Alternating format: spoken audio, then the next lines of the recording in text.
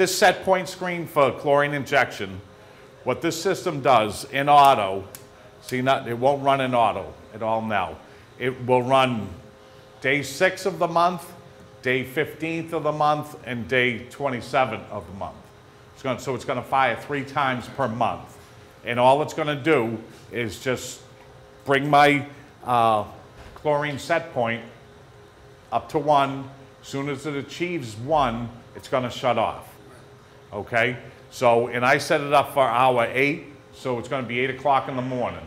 So I'd figure I'd catch somebody, you know, doing rounds or something, and they'll be able to hear it. Now, this can be changed.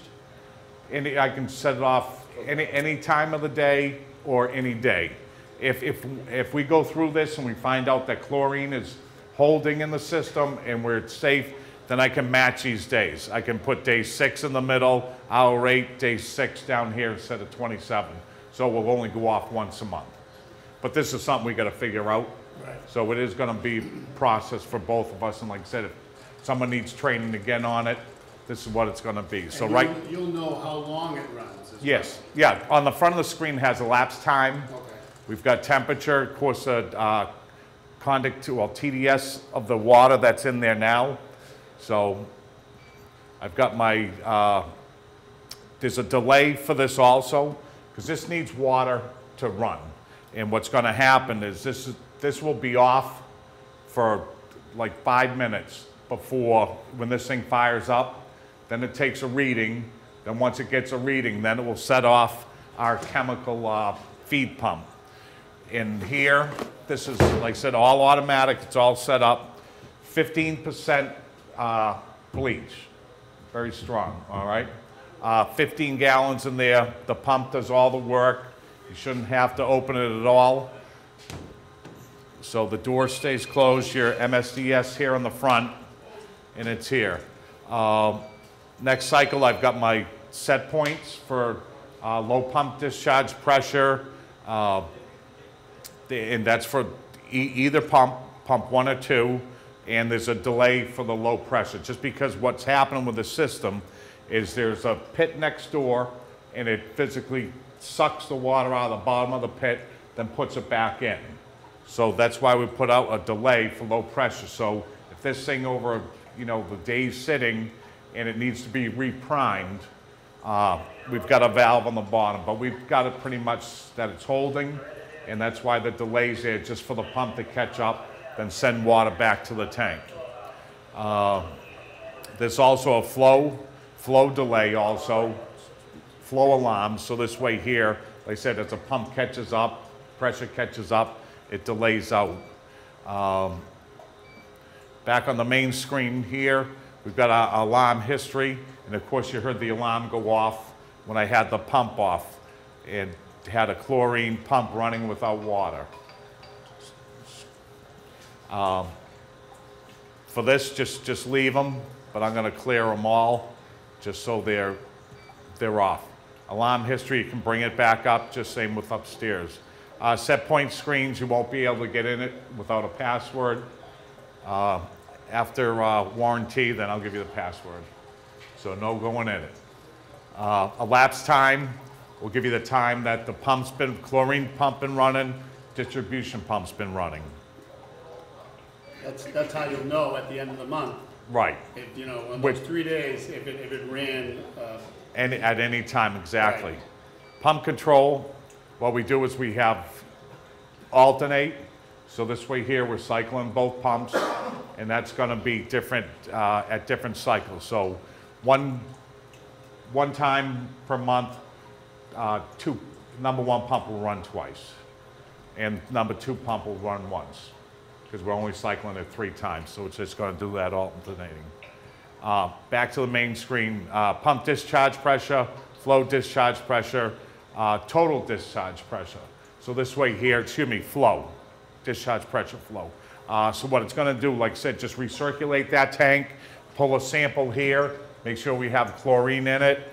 Once we hit our set point, the thing's gonna shut down and wait for its next cycle from cycle two or three and go on from there. Uh, Anything leaks, turn it off, call, normal procedure. So What I'm gonna do is, uh, I'm gonna fire the system up right now, it's gonna get a little noisy, then I'll show you the pressures and flows and where everything is in the back. And right now, in auto, it will not run because it's on the cycle, so I'm gonna put it in hand. So there's a pump in hand right now. You can hear the water moving around. What I've got right now, I've got uh, 30 PSI for discharge pressure. Uh, It's about 34 gallons a minute as uh, my flow rate. Then, of course, my totalizer on the bottom is here. Um, Chemical pump, I'm gonna turn in hand also. And the unit does get powered up. So this will get powered up only by the switch and it has to be lit. If this pump fails for any reason, then I get my alarm, which, which is chlorine pump running without my booster pump. So, and that clears automatically. All right? So I'm putting chemical in right now, recirculating from the pit to here and back to the pit. Uh, the pressure gauges, got a pressure gauge here. I'm gonna take that out and spin it. It's a little tight right now, but I'm gonna take it out and put it so you can be able to see it between the, Right, between the two to motors. Climb in behind there to look at it. What's that? Isolation it? I don't have one. But there, it's there.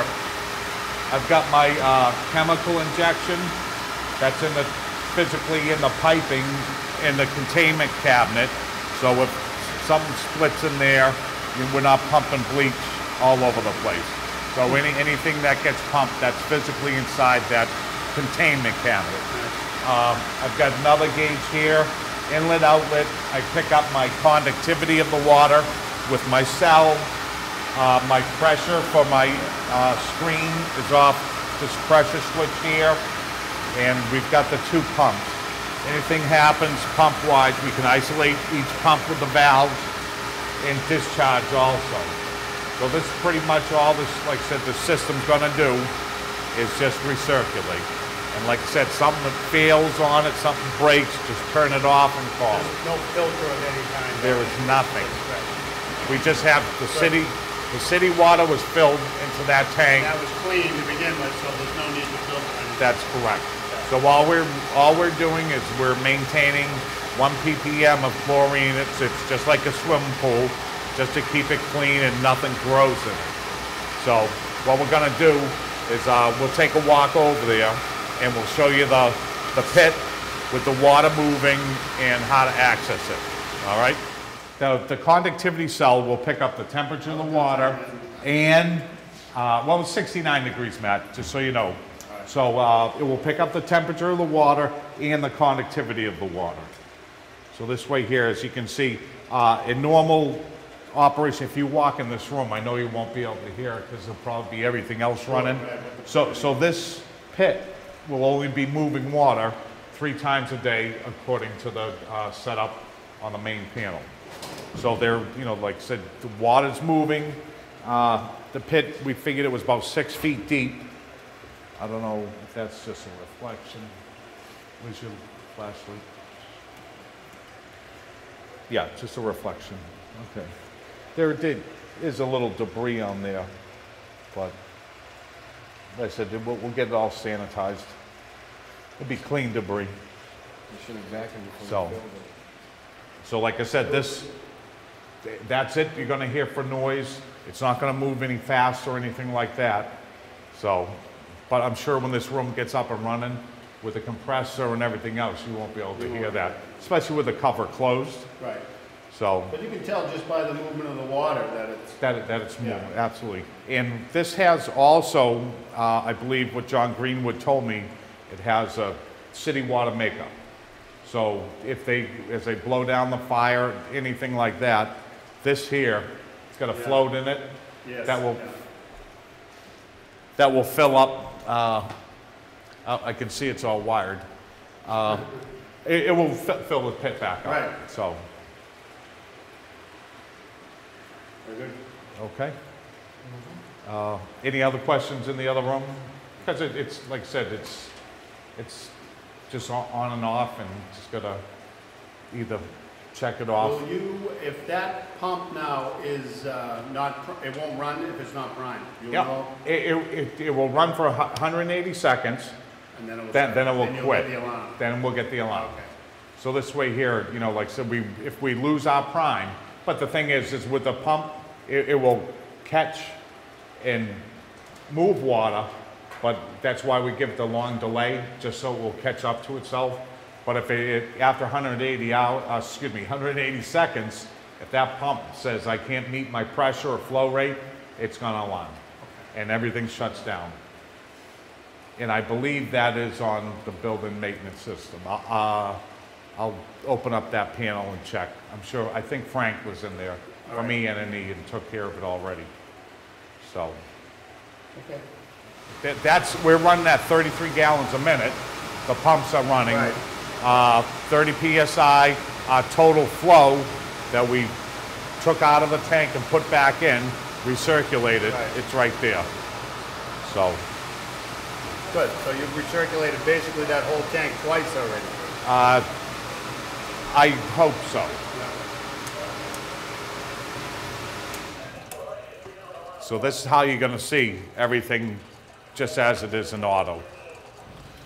Pump will be off, and like I said, eight o'clock, day six, day fifteen, day twenty-seven of the month, this thing will be running. Once it meets its, uh, set point, it will turn off. Now, in between the days, does it, will it have to run? There's No. nothing, absolutely nothing. So they'll know if they come over and they, they make them do a reading on this, They can, you'll, you'll, they'll get a conductivity reading off it. right, i- if they, if they want to come in and do a reading, they will have to take the hand, everything, this is, this is what you're gonna see right now for everything in auto and whatever time they pull a reading. If they come over here to take a reading, they'll either take pump one or pump two, turn it to off, then turn it to hand. And then they can get a reading. Okay. This has the delay on it, so they won't be able to get a chlorine reading here unless they wait for, you know, like 10 minutes. Okay.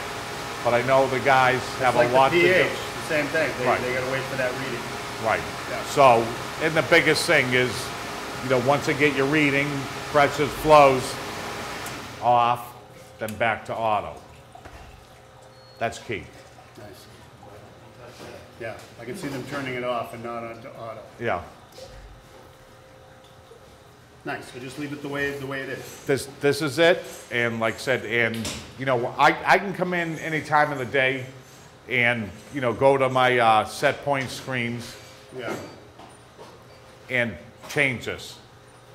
So if I, if I show up at ten o'clock, come down here at ten thirty, I can change it to that day and put it to hour eleven. Wait till eleven o'clock comes, Right. and this thing will fire all in auto on its own. We'll, we'll never really have to need to, uh, the need to get in there and- and change, we wouldn't be changing it. No, no, there's That's- nothing, you'll be there's, doing there's all nothing you'll change in here, it's all, Right. all preset, and like I said, there's a, a password to get in there. So, we'll, we'll leave it at that.